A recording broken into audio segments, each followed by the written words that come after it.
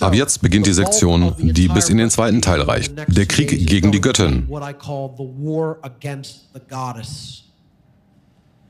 Oder wozu moderne Frauen konditioniert werden zu denken, zu wollen und zu sein. Und die Effekte dieser Konditionierung auf die menschliche Gesellschaft. Warum auf Frauen abzielen? Hier sind zwei Gründe, warum die Eugeniker und Gedankenkontrolleure sich diese Strategien ausgedacht haben und auf Frauen abzielen. Da Frauen die Fähigkeit haben, Männer zu beeinflussen, und das ist wahr, werden die meisten Männer ihre Einstellung und ihr Verhalten so ändern, dass sie konform gehen mit den Vorlieben und Wünschen von Frauen. Die meisten Leute in diesem Raum wissen, dass diese Aussage wahr ist und die meisten im Internet werden anerkennen müssen, dass diese Aussage Gültigkeit hat.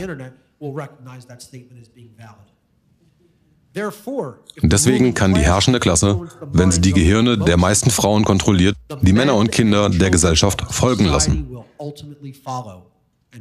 Und jedes totalitäre Regime hat diese Wahrheit gewusst und hat dies zu ihrem verdrehten Vorteil genutzt.